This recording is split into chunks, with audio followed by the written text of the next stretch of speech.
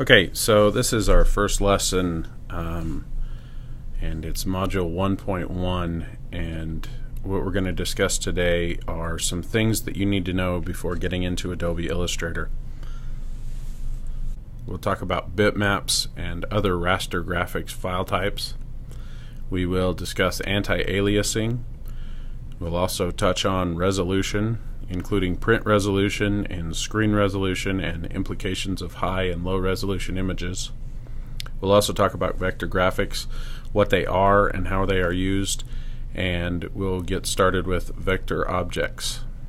So first off, raster graphics. Um, raster graphics are bitmapped file types, and each image is a map of bits or dots like you see on the screen um, this is a blown up version. As the computer reads a bitmap, the file tells the computer what each little color or what color each little bit in the map is supposed to look like.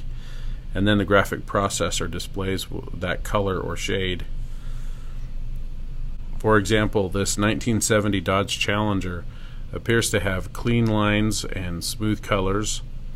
And as we zoom in on this wheel, we can see that the lines are jagged the smooth color gradients are small squares of variation rather than a, a nice subtle or smooth line. Round and smooth lines look rough.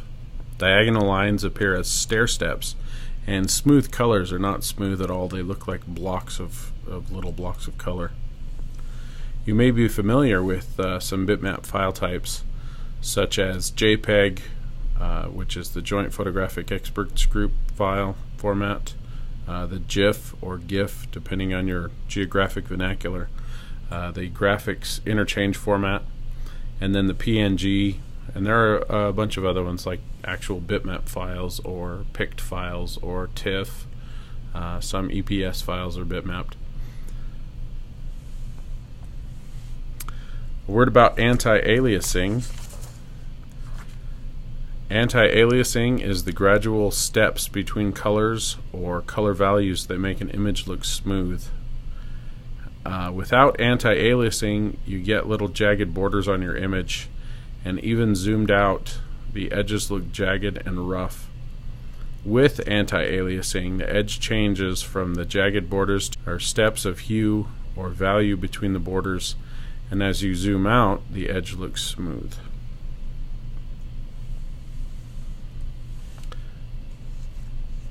The resolution is related to the number of the little bits in an image.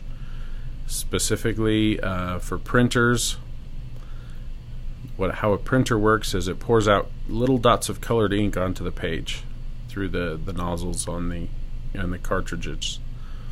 A monitor will essentially turn on little pixels pixels of colored light in the screen, and so you see a representation of that. Print resolution is the quality of an image that will be printed out, typically noted in how many dots per inch or DPI the image will be, and it is limited by the resolution the printer can adequately print. When referring to print dimensions, you may hear the image's physical size with the resolution, such as 5 by 7 inches and 300 DPI. As you can see here, there's some variations in the print resolution. The image on the far left is very low resolution, like you might see in a newspaper. And then the sketch on the right is the uh, original sketch that I did. Think of it this way. Uh, your printer is going to print colors in this one inch by one inch square box. The higher number in your resolution, the more dots of color in the box. So on the left, again, the lower resolution DPI is going to look blocky and rough. And then on the right, higher resolution DPI is going to look sharp and smooth. Higher print resolution also allows the printer to use more ink per inch. If you're going to do high resolution printing at home, be prepared to use thicker paper to absorb the ink and also be prepared to buy more ink to replace the cartridge. Another analogy is to think of bed sheets. Bed sheets are usually defined by their thread count or number of threads per square inch. As a complete beginner to weaving, I can only make the thick coarse threads on the left, so there are going to be fewer that can fit in an inch. My bed sheet is going to end up like burlap. But expert weavers and expensive weaving machines can make very small, very fine threads and weave them to fit more into an inch. So their thousand thread count Egyptian cotton sheets are so much smoother and more comfortable to sleep on. So the end result is a higher print resolution gives a smoother, sharper, more defined image. Screen resolution is the quality of an image as it is displayed on a screen at 100% of the image size. So typically noted in pixels per inch or PPI and is limited only by the full resolution of the screen. You may hear of some pixel dimensions in a screen size such as 1024 by 768, 720p, 1080p, or 4K. But rather than being the image's resolution, that relates to the total number of independent pixels on the screen that can be displayed. And it usually gives us a maximum for our image without looking pixelated or anti-aliased. Often, when you create an image for use on screen, you will not use the entire screen size, but sometimes that is the case. Similar to print resolution, higher screen resolution gives us smooth, sharper, more defined image. Back when I was learning web design, the magic number was 72 ppi, and this is because the typical computer monitor of the day could only display 72 pixels of information per square inch. As technology improved and progressed, we have reached higher standards. Another thing to consider for screen resolution is file size. When you print something in high resolution, you are using more ink, but the paper weighs just a little bit more, and it's barely noticeable. Unless you print a few hundred copies, you won't notice much difference in the weight of the image. When you try to push a high resolution image over the internet, you are limited by the bandwidth or the number of bits of information per second that can be downloaded over the connection. A lower resolution image can be downloaded much faster than a high resolution image, even on faster bandwidth. You may not notice as much on a fast connection, but there is still a delay. The major problem with raster graphics is that once created or scanned, the maximum resolution is set. So for example, when I drew this with pencil on paper over a decade ago, the lines and shading were smooth. I didn't have a great scanner that would give me higher resolution files, so I lost some of the data in the image.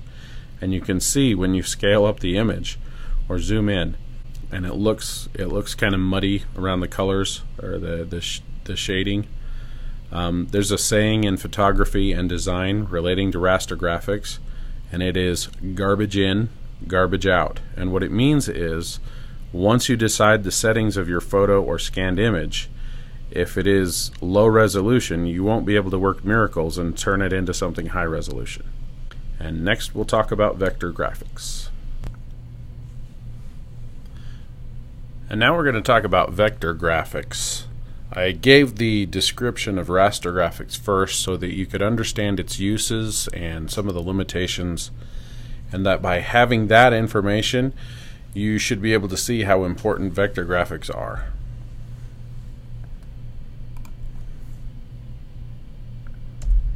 So what are vector graphics? Vector graphics is the use of geometrical primitives such as points, lines, curves, and shapes or polygons all of which are based on mathematical expressions to represent images in computer graphics.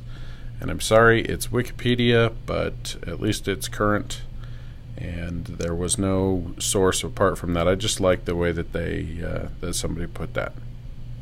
So back in high school, before I decided I wanted to go into computer graphics, I played around at home with my dad's old IBM XT computer using the Advanced Basic Programming Language. In order to draw graphics on screen, you had to program each line, color, and shape as a statement of code.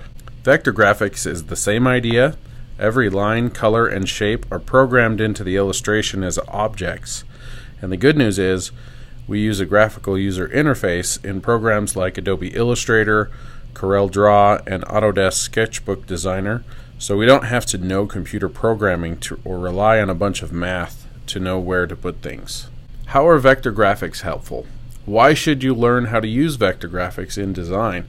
And remember our discussion of raster graphics, the difference between high resolution and low resolution images? Well, with vector graphics, instead of choosing the output ahead of time, be it a website, poster, or a postcard, we can just design the image we want to display. And when it's all drawn, we can scale it up or down to fit the output. We don't have to worry about anti-aliasing, file size, or resolution. Using our bedsheets example, remember that coarse threads from a beginning weaver would yield something like burlap, and fine threads from a master weaver would yield thousand thread count Egyptian cotton. Well, in vector graphics, we simply create the instruction that tells the computer to make a rectangle the size of the bedsheet and fill it with the color of the sheet. In vector graphics programs like Adobe Illustrator, we can even define the fill to be a pattern, like the one we're looking for, and voila, vector bed sheets. So what about the files? Uh, nowadays, fonts are created and rendered in a vector format. PDF documents are often rendered with vector elements. Another vector format is SVG, which stands for Scalable Vector Graphics. I think that's a little redundant to say scalable vector because the vector portion implies that the file is scalable, but that's just me nitpicking. Anyway, so SVG is a great format because it can be read by many different vector drawing and editing programs. Also, you'll find EPS files in some cases um, especially and PDF files, if they're rendered from Adobe Illustrator, can also uh, be vector graphic formats. The only drawback to designing in a vector format is that the image must be rasterized to be displayed on your computer monitor or printed on your home or office printer. Because, as you may remember from our discussion of raster graphics, Printers and monitors have raster graphics resolutions, meaning the image is displayed on your monitor by activating pixels or dots of colored light in your monitor. And printers likewise display little dots of colored ink on the page. So the good news is that the computer does all the work, translating the vector instructions to the monitor or the printer so you don't have to be concerned with the conversion. Also, as one example, when I tried to paste the vector bedsheet example, uh, I crashed PowerPoint. And so I had to rasterize it first in order for it to be even be able to be pasted into the program. Vector objects. So vector graphics are geometrical instructions for the computer, including points, lines, and shapes. But more than that, Vector graphics include information regarding the fill color or pattern, the stroke or the line around the outside of the shape, gradients, uh, complex and compound shapes like you see here, masks, and a whole lot of other information in order to get the image to look just right. I hope you'll join me as we explore more of using vector graphics in my course for Adobe Illustrator, and I thank you very much for your time. The next section, 1.2, we will discuss industrial design with Adobe Illustrator. Bye.